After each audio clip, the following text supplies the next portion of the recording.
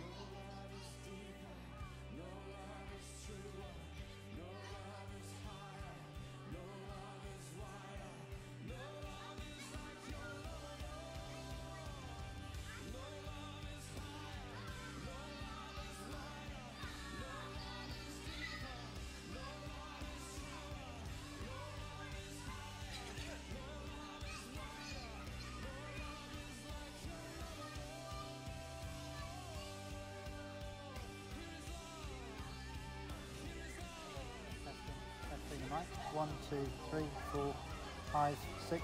Testing. Yep.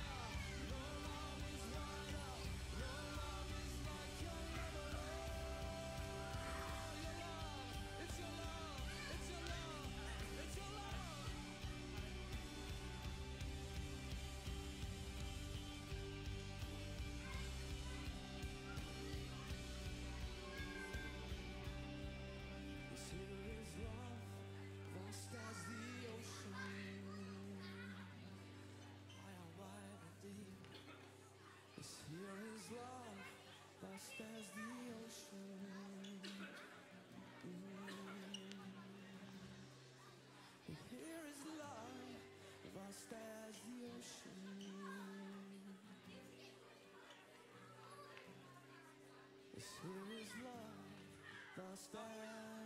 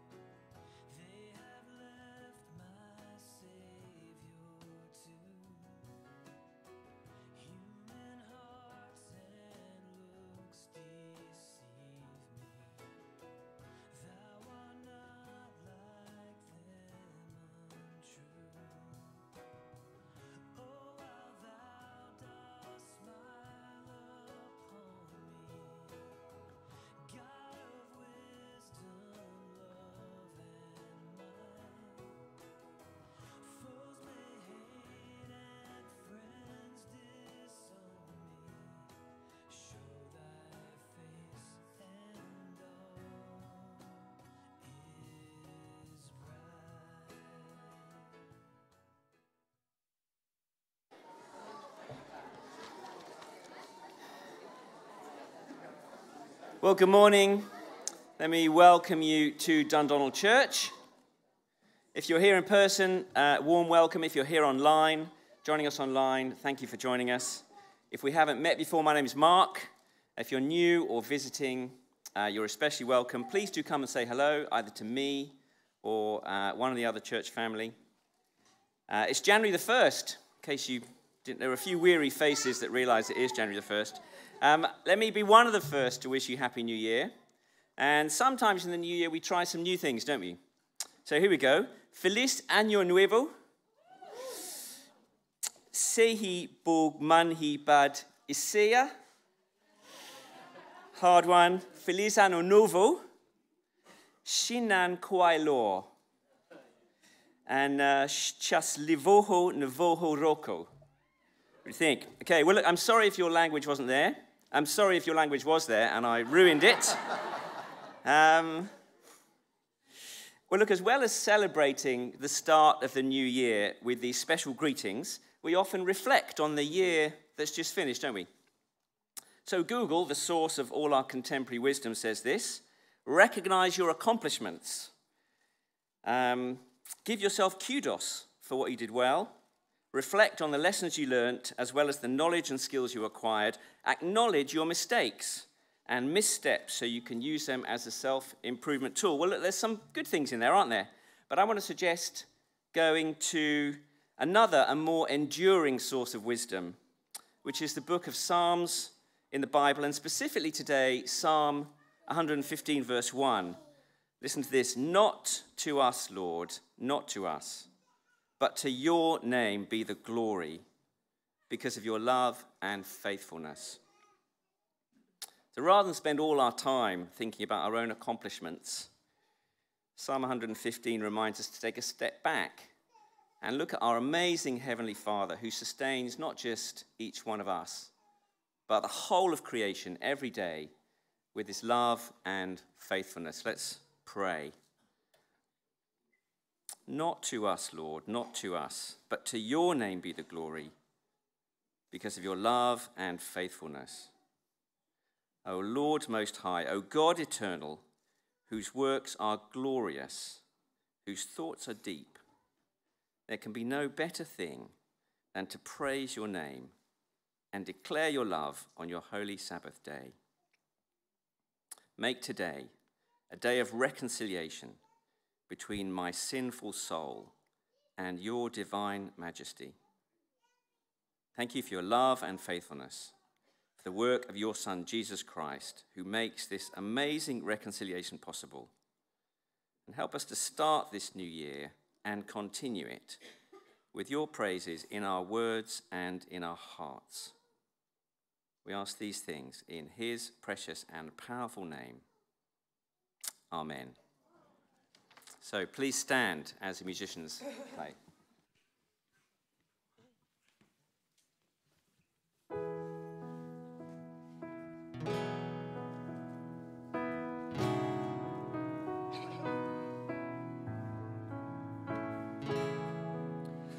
Should nothing of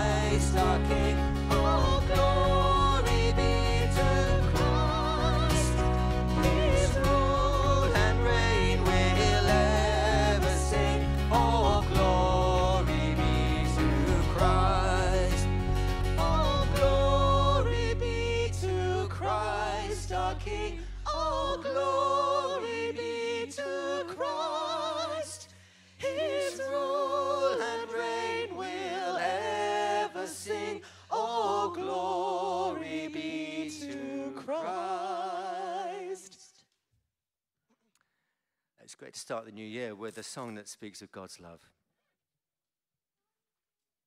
So this is one for all of us. I think Sarah, you're going to do some actions. Okay, so keep your eyes on Sarah. Okay, oh, one, two, two, three, four.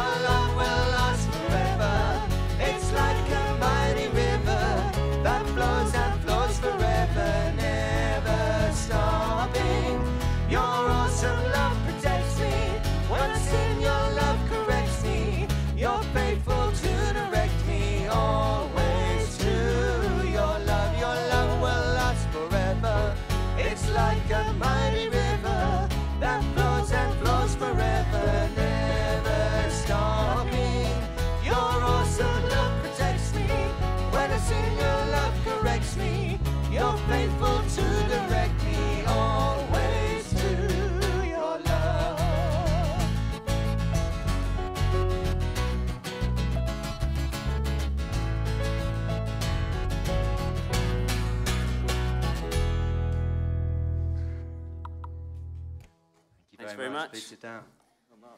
Okay. I was going to say stand up, that's fine. Um, we're going to continue our worship together by saying out loud uh, the Apostles' Creed, which is an enduring statement uh, of Christian belief. Um, Christians over many centuries have said the same things. No doubt they've started the new year in this way as well. And as we repeat these words, what we do is demonstrate our own uh, agreement with them. So please join in if you can.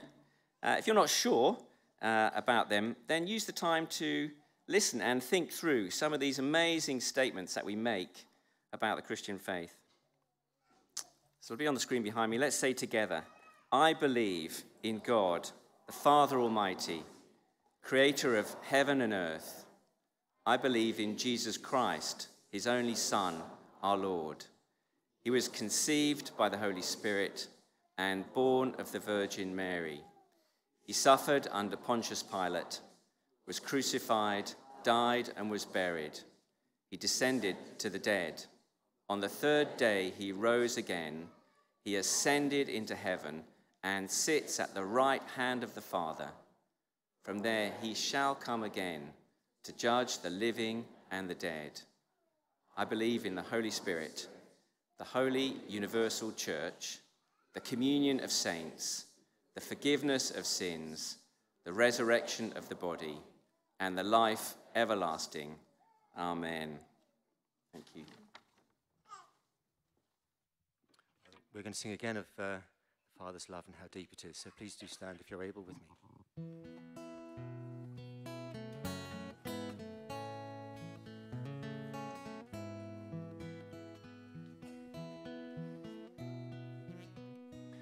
How deep the Father's love for us, how vast beyond all measure, yet He should give His only Son to make a wretch His treasure. How great the pain of searing loss! The Father turns his face away as wounds which mar the chosen one bring many sons to glory.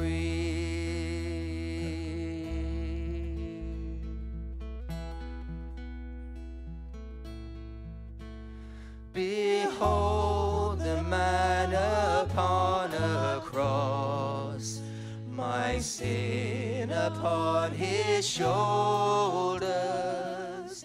Ashamed, I hear my mocking voice call out among the scoffers. It was my sin that held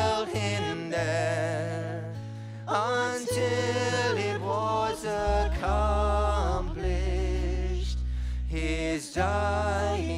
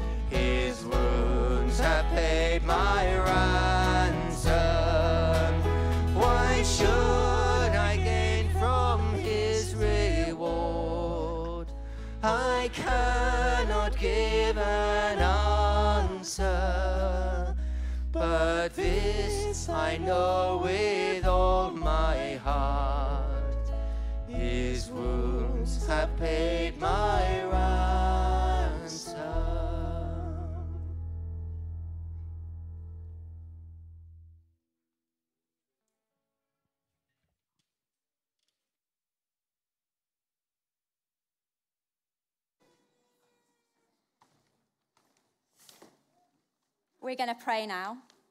And at the end of the prayers, we're going to say the Lord's Prayer together, which will hopefully magically appear on the screen behind me.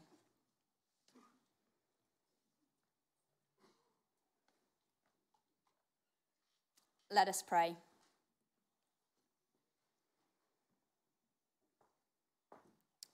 Psalm 118 says, Give thanks to the Lord, for he is good.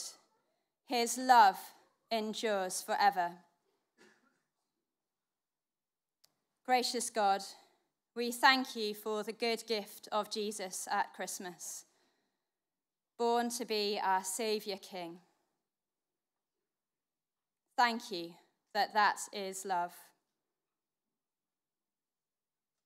Thank you for the year we have had, for increasing freedom to meet with friends and family, for special catch ups and visits, for yummy food, for precious time with church family.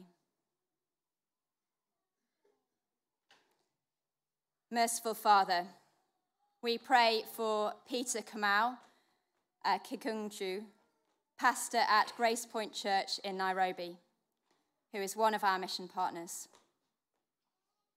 We praise you for keeping Peter and his family and helping them grow through reading the Bible and for the love and care and counsel of friends. We thank you that Peter has managed to transition to give more time to the church plant which he pastors, and that it has recently celebrated um, its first anniversary. Thank you that that church family is growing and that there are some who have become Christians and many who are delighting in the good news of Jesus. We also praise you for two apprentices uh, Regina and Jane, who have just finished their apprenticeship, for their particular care and joy in carefully teaching the children. Please help Regina and Jane to continue to love and serve you, our Father God, whether in a paid or a voluntary role in the future. And we pray too that you would help Peter to divide his time wisely between more, more studying, and also shepherding the church, so that many more would hear of Jesus and many more would come to trust in him. Loving Father, we pray expectantly for the year ahead. Thank you that Jesus has done it all, so we can't do anything more to earn your love. Please grow us, though, to see new joys in the Bible this year. Please show us areas where we could change and motivate us to make those changes. And help us to be ready to be used in your service this year. And in all things, may you get the glory. And we pray all these things in and through the name of Jesus. Amen. And let's say the Lord's Prayer together. Our Father in heaven, hallowed be your name. Your kingdom come, your will be done, on earth as it is in heaven. Give us today our daily bread. Forgive us our sins as we forgive those who sin against us. Lead us not into temptation, but deliver us from evil. For the kingdom, the power and the glory are yours, now and forever. Amen.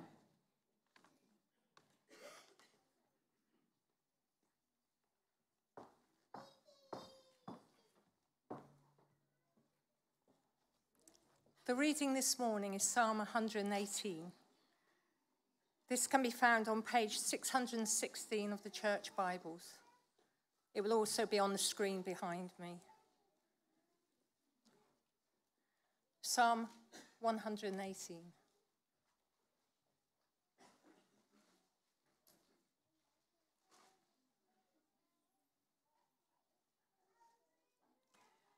Give thanks to the Lord, for he is good. His love endures forever. Let Israel say, His love endures forever. Let the house of Aaron say, His love endures forever. Let those who fear the Lord say, His love endures forever. When hard pressed, I cried to the Lord. He brought me into a spacious place. The Lord is with me. I will not be afraid. What can mere mortals do to me? The Lord is with me. He is my helper. I look in triumph on my enemies. It is better to take refuge in the Lord than to trust in humans. It is better to take refuge in the Lord than to trust in princes. All the nations surrounded me, but in the name of the Lord I cut them down. They surrounded me on every side, but in the name of the Lord I cut them down. They swarmed around me like bees, but they were consumed as quickly as burning thorns. In the name of the Lord I cut them down. I was pushed back and about to fall, but the Lord helped me. The Lord is my strength and my defense. He has become my salvation. Shouts of joy and victory resound in the tents of the righteous. The Lord's right hand has done mighty things. The Lord's right hand is lifted high. The Lord's right hand has done mighty things. I will not die, but live, and will proclaim what the Lord has done. The Lord has chastened me severely, but he has not given me over to death. Open for me the gates of the righteous. I will enter and give thanks to the Lord. This is the gate of the Lord through which the righteous may enter. I will give you thanks, for you answered me. You have become my salvation. The stone the builders rejected has become the cornerstone. The Lord has done this, and it is marvelous in our eyes. The Lord has done it this very day. Let us rejoice today and be glad. Lord, save us. Lord, grant us success. Blessed is he who comes in the name of the Lord. From the house of the Lord we bless you. The Lord is God, and he has, has made his light shine on us with bows in hand, join in the festal procession up to the horns of the altar. You are my God, and I will praise you. You are my God, and I will exalt you. Give thanks to the Lord, for he is good. His love endures forever.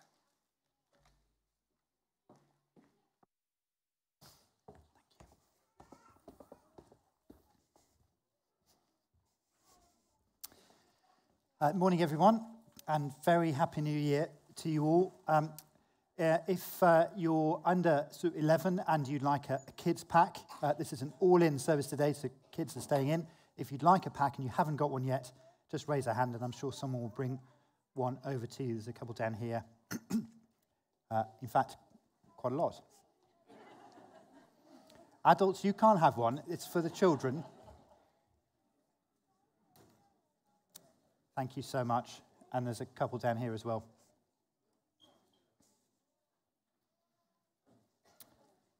You should find in there uh, lots of things, but particularly to do with Psalm 118, which we're looking at this morning. As those packs are going around, let me, let me pray. Let's pray and ask for God's help. Father God, thank you for this new year. And thank you for this chance to meet together to listen to what you have to say to us in the Bible. Please help us to listen, to concentrate, and to take to heart what you're saying about your Son and about us. Please be with us and help us, we pray, in Jesus' name. Amen. You um, may not be able to remember what you were doing on Sunday, the 31st of July last uh, year. But along with millions of others around the country, you may have been watching the England women's football team play Germany in the final of Euro 2022. Of course, you may not have been. It may be that you can't stand football, that's okay. It may be that you're not from England and you're supporting Germany or some other team, that's okay too. I was supporting England women's football team. And for those of us who were watching and supporting them, it was a pretty tense evening. England were trying to win their first ever European final. And it was, as you might expect, full of excitement. Expectation was massively high. Things were tense. The match was one all going into extra time.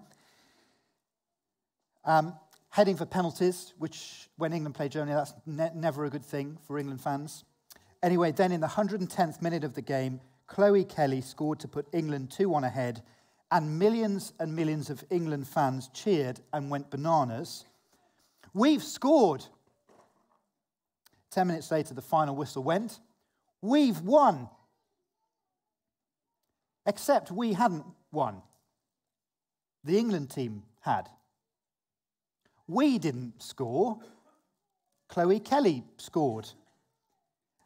And yet, every sports fan or most of us will know something of what it feels like to join in the victory that somebody else has achieved. Chloe Kelly scores, and we cheer, we've scored.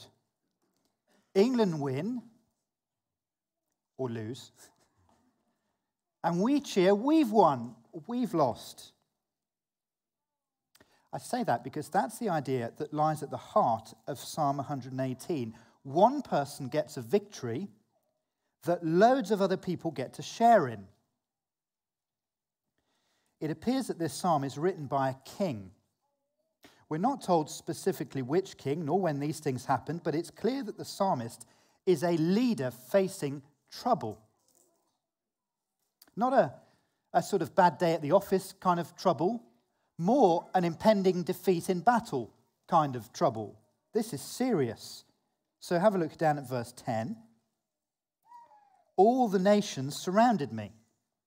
That's pretty grim. Verse 11, they surrounded me on every side.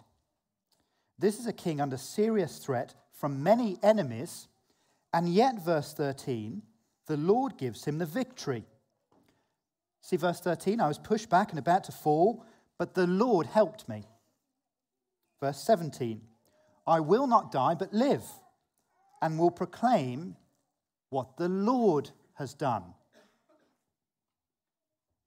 But as we'll see, the salvation of this king is the key to the salvation of the people. His victory is their victory. Chloe Kelly scores, we win. This king wins, they win. So from verse 22, the language changes from I and me in this psalm to us and our as we hear the people praising God for saving them. It's like the king scored, and they're cheering, We've scored. Verse 27. This is the people singing, The Lord is God, and he made his light shine on us with bows in hand, join in the festal procession up to the horns of the altar. They win because he won. Now, the reason the psalmist is writing all this is because he wants his people then and us now to appreciate God's outrageous love so that we'll praise God's name. Thanksgiving is the goal of this psalm. You may well have noticed as we read it that the first and last verses are exactly the same, like bookends on a bookshelf or brackets in a sentence. Verse 1 Give thanks to the Lord, for he is good. His love endures forever. Verse 29 Give thanks to the Lord, for he is good. His love endures forever. This is a really good psalm to start the new year with because it would be a a great spiritual New Year's resolution to grow in our thankfulness this year. I don't know what you're like with New Year's resolutions. I try and have three, two or three sort of spiritual New Year's resolutions. So I try and think, I mean, there are millions of areas that I want to grow in spiritually, but if I think millions, I just get crushed. So I try and work on two or three, keep it sort of realistic. Um, the two I've been, one of the two I've been working on for the last about 15 years is patience. I really wish the Lord would hurry up and answer that prayer for patience, but He hasn't yet. That's probably another one this year. But it's not a bad thing to do. To think, I generally sort of work through the fruit of the Spirit. Um, but thankfulness, wouldn't it be a lovely thing to think this time next year? Well, 2023 was a, was a pretty difficult year, but man, I'm more thankful now than I was in January 2023. I'd certainly love that. More thankful. And this psalm helps us to give thanks to the Lord because it shows us God's love in action. In giving salvation to his people through granting victory to his king. In case it's helpful, here's a one line summary of the psalm. You, you may come up with your own over the next 20 minutes or so. Do chat about them over coffee. But here's, I think, the main thing we're being encouraged to do here. Here's my sort of one line summary sentence Praise God for his forever love shown in our great salvation through his victorious king. Don't worry if you can't remember all that because we're going to work through that over the next 20 minutes or so. Praise God, give thanks to God, rejoice in him. Why? Well, for his forever love, his love that endures forever. Well, how do you know that? Well, he's given us salvation. How has He given us salvation? Through His victorious King. To help us uh, praise God, we're going to look at those three different parts of that sentence, that psalm God's forever love, his victorious king, and our great salvation. Here's the first. Let's think about giving thanks to the Lord for his forever love. That's verses 1 to 4. In the first four verses, um, the psalmist is a bit like the conductor of of a choir. So he opens in verse 1 by calling people to praise the Lord. Give thanks to the Lord, for he is good, his love endures forever. And then the conductor, the psalmist, turns to three different sections of the choir, if you like. First of all, verse 2, there's Israel, that's the Jewish nation. Let Israel say, and they would respond, His love endures forever. Next, the conductor turns in verse 3 to the house of Aaron, that is, the priests or the leaders of God's people. So, not everyone, but a specific group. So, let the house of Aaron say, and they would sing, His love endures forever. And then finally, verse 4, the conductor turns to those who fear the Lord. That is, Gentiles, not Jews, Gentiles, people outside of Israel who've come to put their trust in God. People like us, if we're um, not Jewish by background, but have come to trust in Jesus. So let those who fear the Lord say, and our response would have been, His love endures forever. I thought we'd try it. Is that okay? So we're in four. So let's go these two sides. Uh, you're verse 2, you're Israel. Uh, this section here, you're the house of Aaron and you're those who fear the Lord. Happy? I'll be the conductor, if you permit me to be the psalmist in this uh, little game. So I'll say, Give thanks to the Lord, and your response is to say, His love endures forever. Okay? Give thanks to the Lord. Give thanks to the Lord. Give thanks to the Lord. There we go.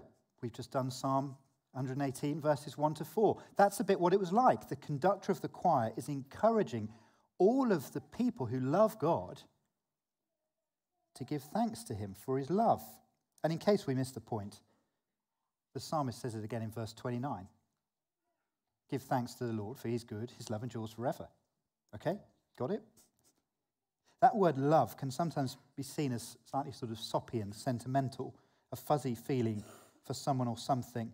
So if I asked you to text a love emoji, you might look at me and think, what? but if you did know what a love emoji sort of looked like, you might text a red heart. But actually, the kind of love being talked about here is strong, reliable. It's the Hebrew word hesed, which is not so much a warm feeling as a powerful action. And maybe a more accurate emoji would be this.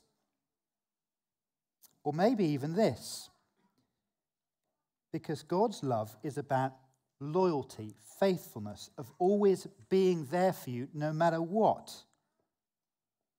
Never letting you down. It's about 100% commitment to be kind and generous. And in the background to this word, love, Hesed, is God's covenant, his promise. That is his unbreakable, determined promise to love and bless his people, for better, for worse, for richer, for poorer, in sickness and in health. One of the Bibles we used to read to our kids when we were younger is uh, the Jesus Storybook Bible. I was looking on the bookshelf. I think it might have sold out, but you might browse later on if you want to get it. The Jesus Storybook Bible, and I really like how it describes God's love throughout the book. Here's how it describes God's love His never stopping, never giving up, unbreaking, always and forever love. So when we say God's love, this is it. He's never stopping, never giving up, unbreaking, always and forever love. That's God's Hesed love. His love for you never stops. Never stops. Even when you forget it. Even when you mess up. Even when that sin that you thought you'd slayed comes back and you think, everything within you thinks, surely he can't keep loving me. Yes, Because that's what this word means. That's what God's covenant means. God's love can never be broken, not by sin, not by suffering, not by Satan, not even by death itself, the great divider. It's always and forever. And so, for the next 150 billion years and more, you will, if you're one of God's people, experience and enjoy God's immense and immeasurable love for you. Give thanks to the Lord, for he is good. His love endures forever. I don't know about you, but sometimes I can't imagine why the perfect, holy, powerful God would love someone like me with such a love. But he does. He's told us so in his word. One of the, excuse me, little ditties that um, an older lady taught me when I was a young Christian is Jesus loves me, this I know, for the Bible tells me so. And it's worth remembering. How do you know God loves you? Well, He tells you He does in the Bible. But not only that, He's shown us that He does in His Son. If you ever doubt God's love for you, just read your Bible or look at the cross where the Lord Jesus died, bled to death for the forgiveness of your sins. That's his forever love. And so the appropriate response to that is to give thanks to the Lord, for he is good, unbelievably good. Now we can give thanks by singing praise to God on our own in a group like this, around the dinner table with our families. We can give thanks by speaking to God in prayer. We can give thanks by speaking to others about how good He is. I've got a friend who's brilliantly natural at just dropping into conversations when, you know, he hears of a blessing. And he just says, Isn't God kind? Isn't God good? It's so natural. I feel whenever I do that, it's sort of weird and jars. But as we talk to one another about the blessings that we enjoy, why not remind one another? You know, isn't God good? How kind of God.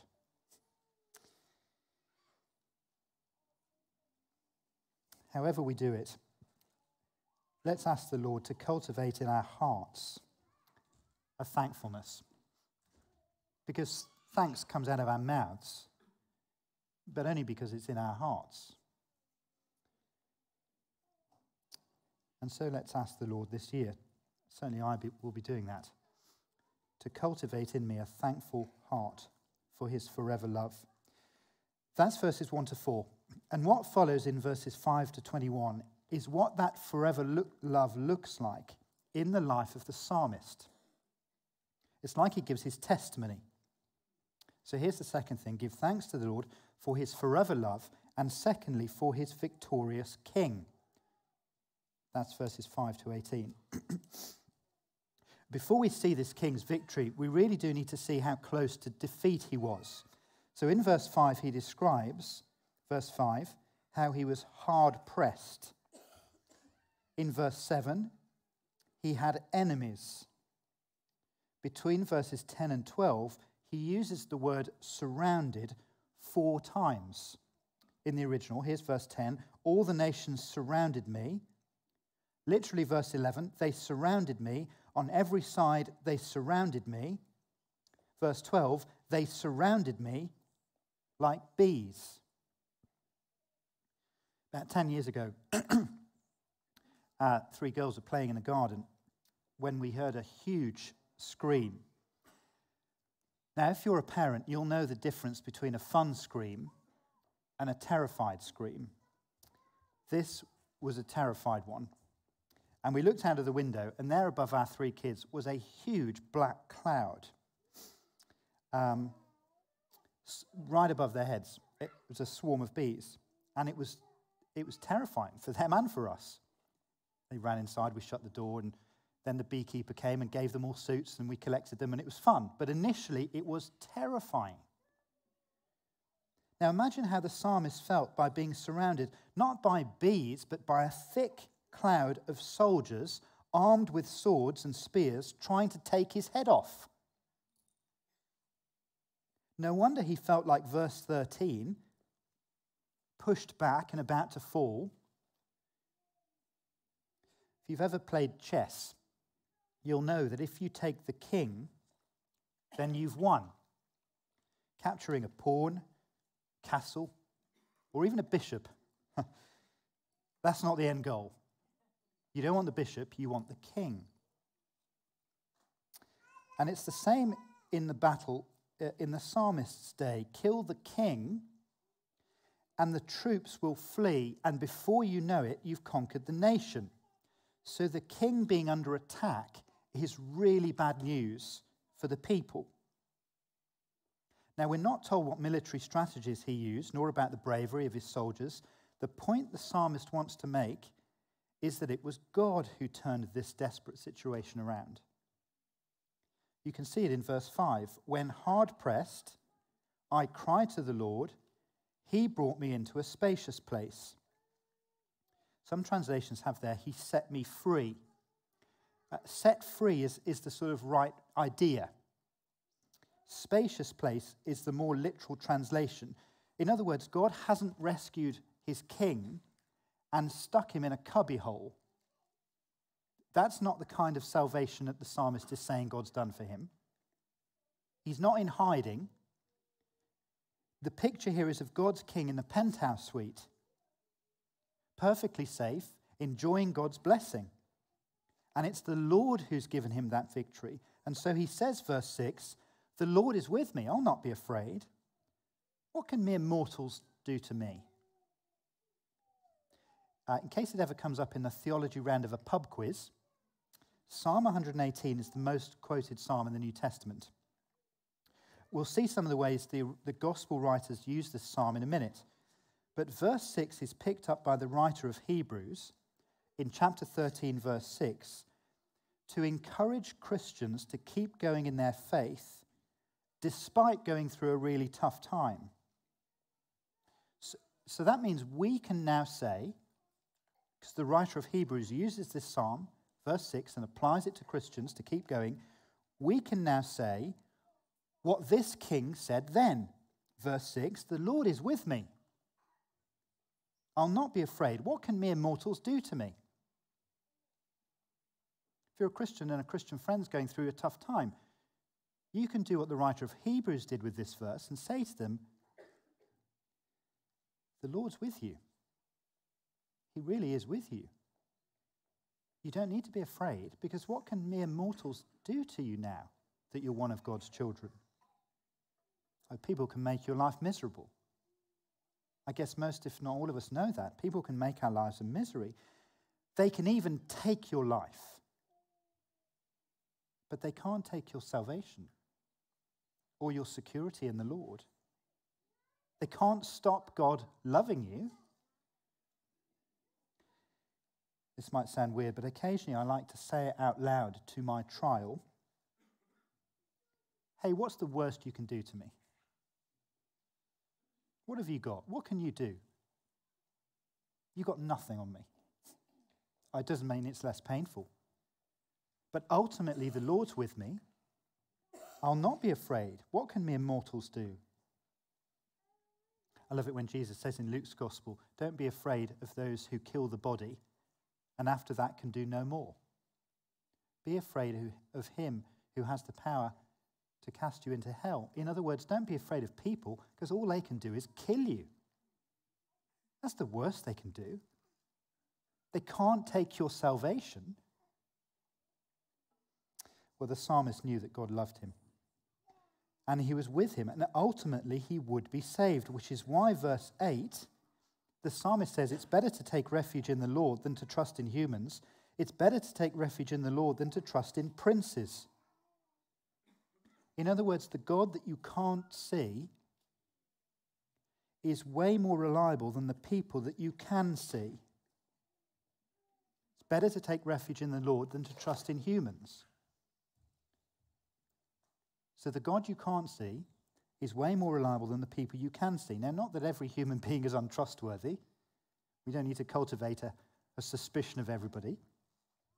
But it is tempting to put your conf- confidence in the things and the people that you can see. rather than the Lord whom you can't see. And the psalmist reminds us that what lay behind this visible victory was the invisible God. See, it's interesting, isn't it? This king could have said, Phew, that was a close shave. Oh, thank goodness we had a good plan in place to deal with this, these enemies. Thank goodness I'm so brave. But he doesn't do that. He goes behind what you might call the natural explanation to a spiritual explanation. He doesn't come back from this victory boasting about himself, he comes back praising God for his salvation. Verse 10 In the name of the Lord, I cut them down. Verse 11 In the name of the Lord, I cut them down. Verse 12 In the name of the Lord, I cut them down. It's not just I cut them down, it's in the name of the Lord. And in verse 14, he quotes what God's people sang back in Exodus chapter 15 after God had rescued them from Egypt through the Red Sea. Verse 15, the, um, sorry, verse 14 The Lord is my strength and my defense, He has become my salvation. Well, again, picture the scene. The king returns from battle. His enemies have been blown away. The threat is gone. Can you imagine what would happen if President Zelensky announced on Ukrainian TV that the Russian troops had gone home and given up. Not just for him, but for the world. Imagine that news coming on our screens. That's the kind of feeling that the psalmist has got here. Verse 15 shouts of joy and victory resound in the tents of the righteous. We've won. Or to be more precise, God gave victory to his king,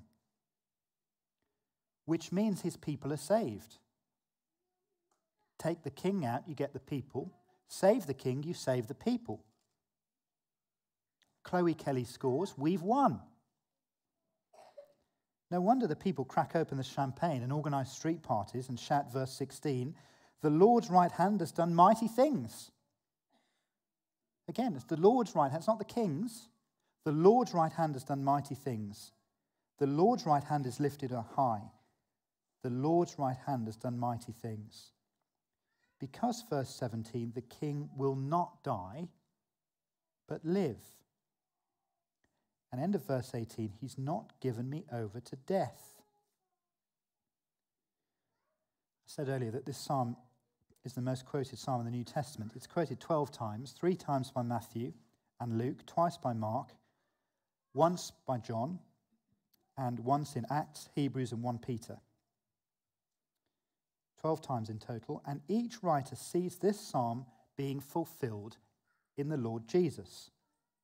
So, whilst the suffering and salvation of this king in the psalm is real and it's historical, these events that this psalm is describing are a precursor to the suffering and salvation of the Messiah, the king King Jesus.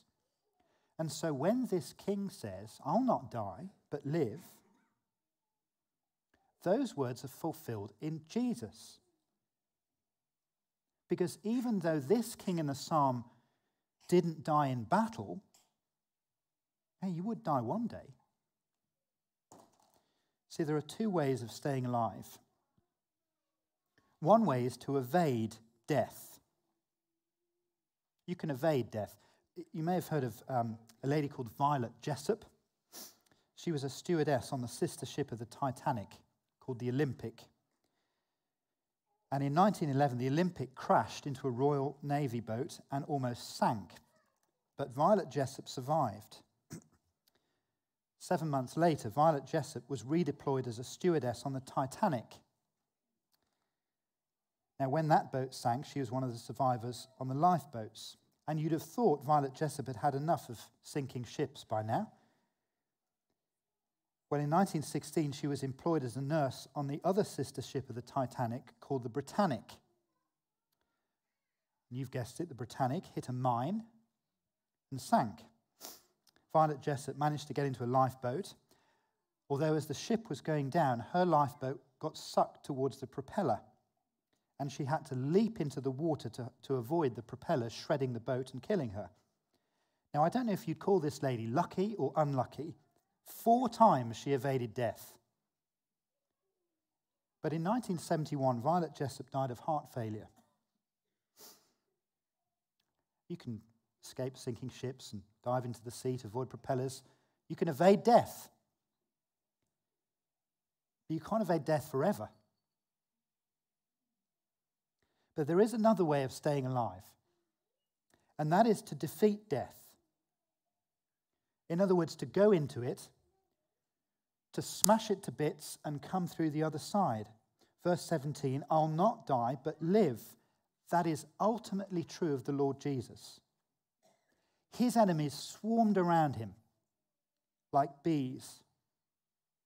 They nailed him to a cross, buried him in a tomb. But on the third day, the Lord raised him to life, never to die again. And this psalm is pointing us to a king who doesn't just evade death, he defeats it. He goes down into it, breaks it, and goes through it. And his victory is our victory. Chloe Kelly scores. We shout, We've won. This king beats death. And we go, We'll beat death. He lives, and so his people will live. Where, O death, is your victory? Where, O death, is your sting? Here's another reason to give thanks to the Lord today and this year, not just for his forever love, but also for his victorious King, the Lord Jesus, who didn't die ultimately he lived and lives today. Here's the third reason to give thanks for his forever love, his victorious King, and lastly, for our great salvation. That's verses 19 to 29. I think it's helpful to see verse 19 and following in the psalm, picturing a conversation between different groups of people as they go up to the temple. So, verse 19 is the king, just back from victory, knocking on the door of the temple. Verse 19 Open for me the gates of the righteous. I will enter and give thanks to the Lord. That's the returning king knocking on the door. Verse 20 the priest then says, This is the gate of the Lord through which the righteous may enter. Or, in other words, come in. the king knocks, the priest opens the door. Then, once the king's inside, what does he do? He praises God. I will give you thanks, for you answered me. You have become my salvation. Then it's quite striking. The psalm switches from the singular to the plural because it seems as though there's a group of people who've turned up at the, the uh, temple to join in this Thanksgiving party. It's no longer just the king going, Well, that was a close thank you, Lord, for saving me the people realize that the victory of the king is their victory. And so they say, verse 22, which is quoted five times in the New Testament describing Jesus. The people sing, verse 22, the stone the builders rejected has become the cornerstone. The Lord has done this, and it's marvelous in our eyes. The Lord has done it this very day. Let us rejoice and be glad. See, that's no longer just the king, that's the people realizing what God has done through his king. See, there they are, punching the air, thanking God and praising him. And did you notice what they're praising God for in verse 22? The stone the builders rejected has become the cornerstone. That's the thing they're thrilled about. Now, who's the rejected stone in the psalm? It's the king. He suffered at the hands of his enemies. He was pushed back and about to fall. The king is the stone, the rejected stone. But that stone has not just been brought back to be part of the building, saved from his enemies, that stone is the key foundation stone on which the whole building is held together.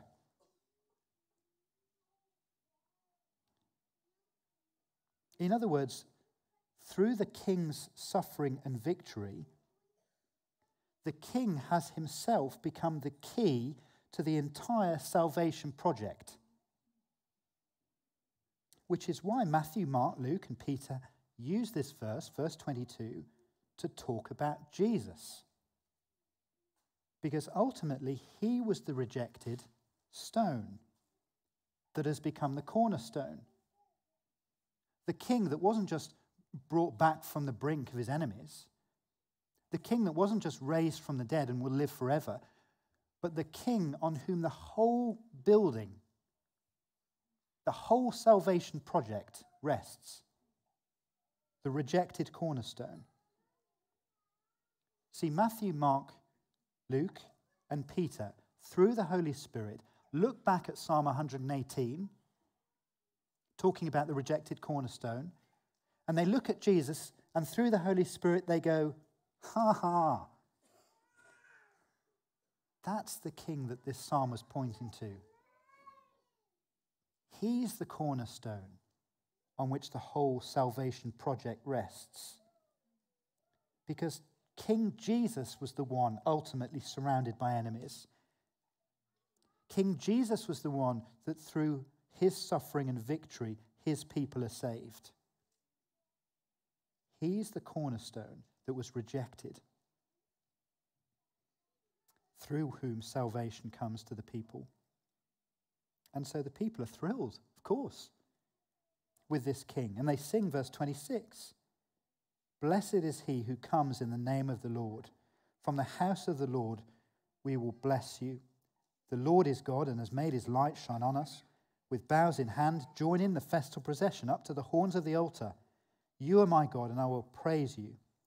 You are my God, and I will exalt you. Give thanks to the Lord, for he is good. His love endures forever.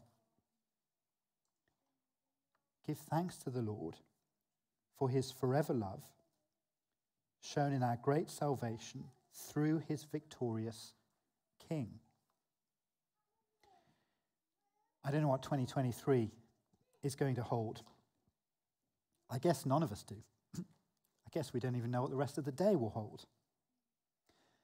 But one thing is absolutely certain this year and always God's victorious King Jesus has secured victory for his people. He has. And God loves you. He loves you. He really does love you. And He's shown that in His Word and in His Son. And so, whatever happens to you this year, let's hold on to these certainties. And wouldn't it be lovely to grow together and individually in our heartfelt thanks to the God who loves you and has saved you through his King? Let's bow our heads. You might like to be quiet and say your own prayer for a moment. You may like to make your own 2023 resolution. And then I'll lead us in prayer in a moment or two.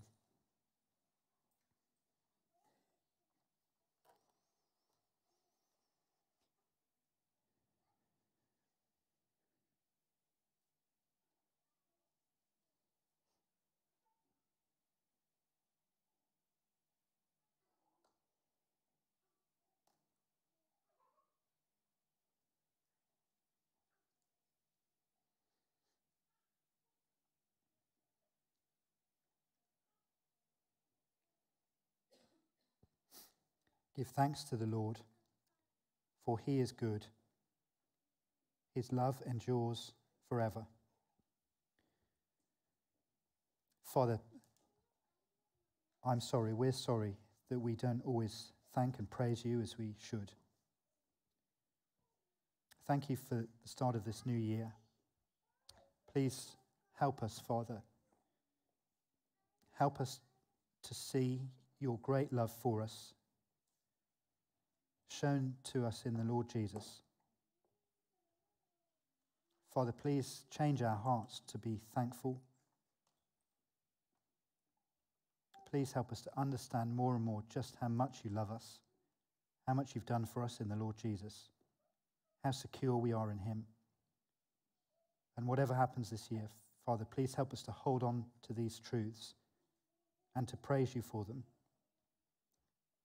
Please grow us in our thankfulness as individuals, as a church, for the honor of your name. Amen.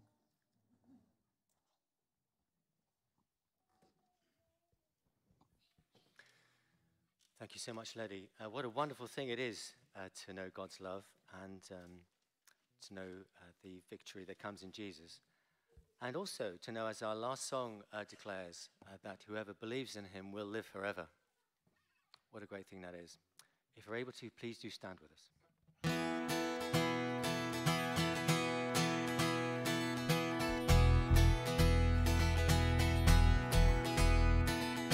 Come all you weary, come all you thirsty, come to the well that never runs dry. Drink of the water, come and thirst no more.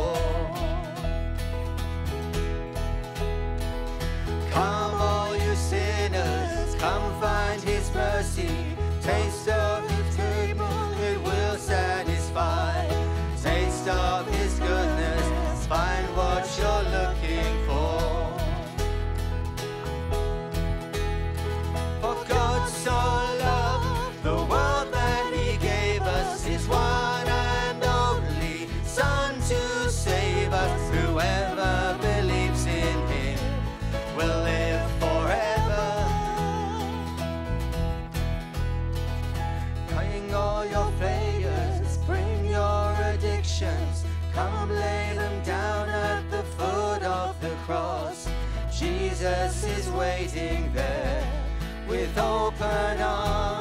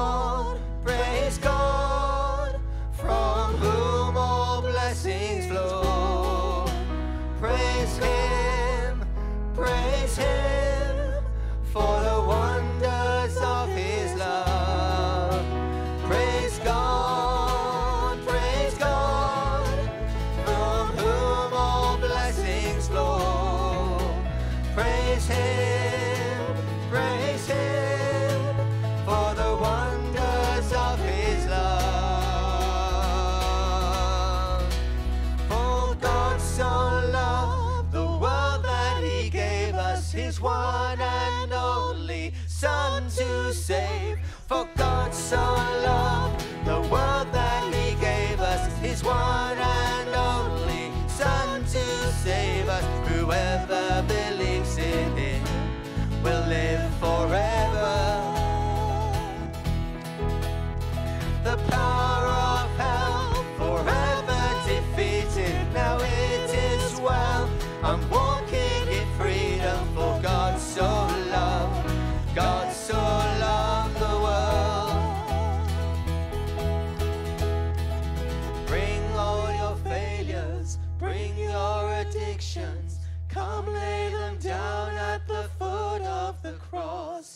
Jesus is waiting.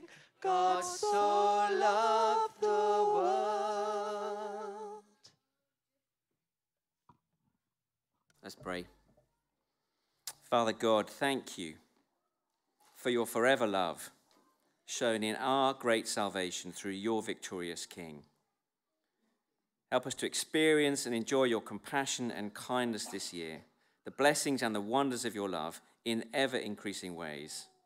So that our lives overflow in praise and thankfulness, giving honor and glory to you. And we ask these things in the name of our victorious King, your Son Jesus, our Lord and Savior. Amen. Amen. Do take a seat. Uh, it's tea and coffee going to be served uh, the hatches. Please stay and chat, talk about something you might be thankful to God for. Um, uh, it's the start of a new year. Why not introduce to someone you haven't talked to before? Do a new thing. Uh, have a great day.